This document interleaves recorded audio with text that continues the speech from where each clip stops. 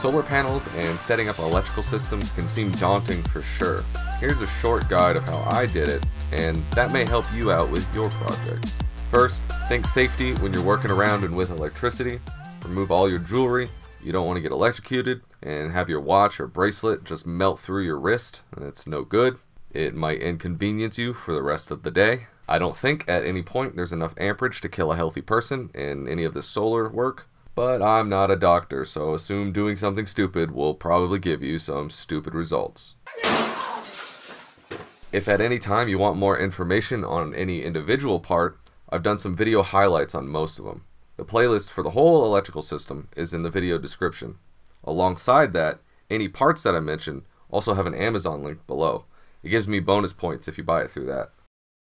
I started with some very artistic drawings of what I thought a good solar setup might be like. Ah, but don't worry, there are some actual good diagrams to come.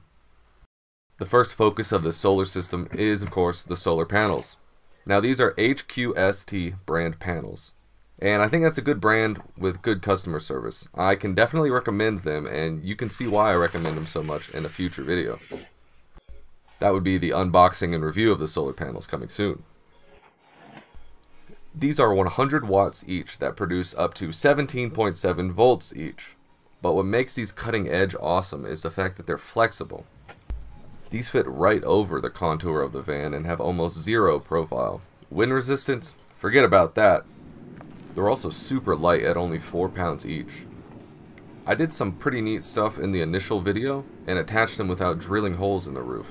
This was done through industrial strength velcro and this stuff is amazing.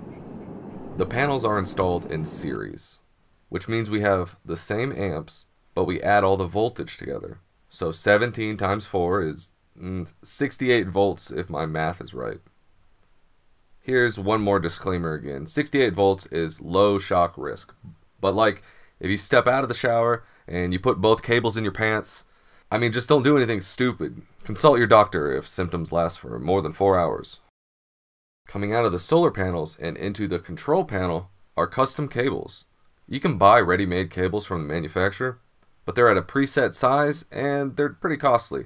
After checking out another video, I saw instructions for making your own cables for a fraction of the price. Basically, any hardware store sells a 14 AWG rating cable, and Amazon sells the end attachment plugs for super cheap. The link to the full video for that is in the description below too.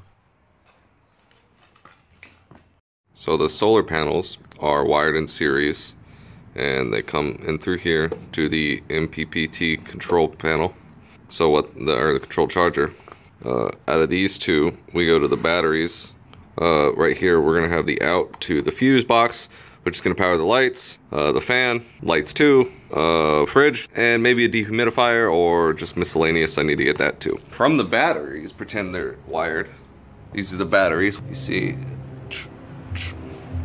and then from the batteries, we have the inverter, which has fuse box, wires into the inverter. This will go to ground. This is a another ground, which also has in it the uh, on and off switch for the inverter. And the control panel has this cool handy dandy uh, control panel as well, where you can monitor it and do all sorts of things. So this is all going to be stored under the bed with the batteries. I've always thought electricians and electricity, things like that, circuits are really fascinating. In fact, I toyed with a little bit. I was like, oh, I want to be an electrician. But, you know, this is a lot of work. so I'm glad I get a chance to really put what I've learned into practice. And, you know, I've been drawing up, let's see, schematics and different things like that. That's a brief circuit diagram. I have some better ones. The main purpose of the charge controller is to prevent the batteries from overcharging. In theory, you could connect the solar panels straight to your batteries, but I wouldn't recommend that since they'd probably explode, turning your cozy van dwelling experience into a flaming metal death trap. That may inconvenience you for the remainder of the day if you've been exploded. We covered this a lot more in the battery video, but batteries are the limiting reagent in your solar system. So to rephrase that again, what you'll notice the most is battery capacity, or rather, when you start to lack battery capacity. More solar panels make you charge quicker, but if you can only store a few hours of power, one or two cloudy days is really going to make your whole system not helpful. Batteries are measured in amp hours, so more amp hours means you can run more things for longer. And that's a pretty easy concept to grasp. My laptop takes 2.5 amps per hour. The Dometic fridge takes about 3 to 5 amps an hour. I recommend going online and looking at a electronic calculator to see how much electricity you're going to be using throughout the day. My choice for batteries are two 155 amp hour sealed AGM batteries. So when we wire them in parallel, it's three 10 amp hours at 12 volts. The link to the highest quality ones I found are below. It's also very important to secure the batteries in place when you drive. You don't want them sliding around and then, you know, the common theme is exploding here, but, you know, they will get damaged. You can see I built a wood frame around most of the solar components here. I said earlier that they were at 12 volts. System voltage is determined by your batteries. If you have one 12 volt deep cycle battery, then it's a 12 volt system. If you have two batteries and connect them like I did in parallel, then it's still a 12 volt system. You just double the amps. If you have two connected in series, then it's a 24 volt system. I recommend the parallel 12 volt system as most of my appliances were also 12 volts. Next, we'll take a brief look at the inverter. This takes the solar power from the batteries and turns it into something a normal wall outlet plug can use. Now we've covered the different types of inverters in the previous videos, but as a reminder, I recommend going with the pure sine wave inverter. If you want more info on that, the playlist is also below. I still don't think everyone needs an inverter though. What will work for most people is finding the DC 12 volt car adapters for their laptops and cell phones and things like that and then you can find 12 volt appliances. They're a little bit sometimes more expensive, but they'll save you in electricity in the long run, especially if you don't have to buy an inverter. I have some inexpensive, yet still very sensitive hardware I use for recording and other things, so it was a good deal for me to go with an inverter. So we see the solar comes in here, then it comes out through the batteries. These are wired in parallel, and then from the batteries, we get the inverter that's back here, wires back through here.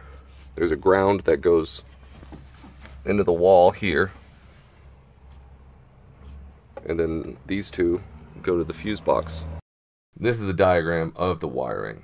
The panels are in series that run into the controller.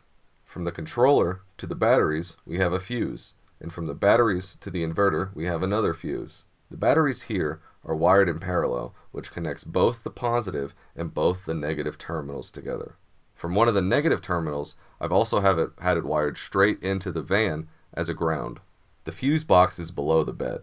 This lets us safely run things like the fans, the fridge, the lights, chargers, and any other appliances you can think to add. It draws power directly from the control panel. The grounding wires for all the appliances go back into the charge controller. From the fuse box, we have two wires that go to a 12 volt female car charger port. One of these runs my favorite little movable boat fan.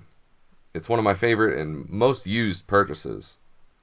The other adapter goes to whatever I need it to be at the moment, normally phone chargers. One direct wire goes straight to the roof vent, and then the rest go to lighting. For the lights, we run the wire behind the cabinet and into the ceiling. Then it comes out to the switch box and goes into the lights. The red wire goes out to the fuse box and over the light switches, then runs back along the same path to the ground. In between there and the loop back, I inserted the socket plug for the mood lights. I ran another red wire up the same path to the switches, this time onto the radial dial. Then the wire continues up into the ceiling and to wire each one of the LED lights. It comes back down through the dial again to complete the circuit. The ground wire comes back out and connects to the previous ground.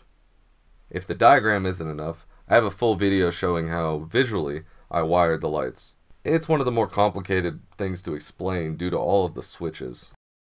And then we have all the wiring come in and connect to the solar battery fuse box. Then we just look at the charge controller and make sure the power is flowing and all your appliances are good to go. You can definitely see that these diagrams have come a long way from the original doodles. That's kind of a metaphor for this whole project. I'm just trying to learn new and interesting things. Although you can still see that I need some serious work drawing legibly. Quick note, the cheapest place I found to get most of these items is, surprise, surprise, Amazon. There's also links in the description, like I've said about 40 times in this video. Also, I put a download link to the sides and diagram I've showed here. And, and, each part's info video.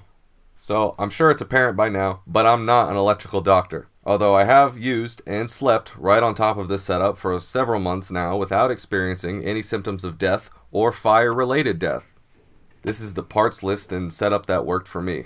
And if you have similar needs, it may be the best for you too. These videos are also half for me to go back and see what I did if I ever need to repair it. This is all alongside my handwritten documentation and reference guides. I can sit down and roleplay flying in a spaceship if I want to with all this info. I'll name it the Bebop.